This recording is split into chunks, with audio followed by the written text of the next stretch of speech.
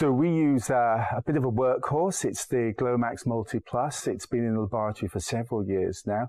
And the reason why we enjoy and we actually uh, love this machine is it's, it's, it's multimodality. So I've got students working with bioluminescence projects. I've got other ones that use the fluorescence modules. And we also use these colorimetry modules as well. And actually, it's, as I say, it's a real workhorse and many students use it.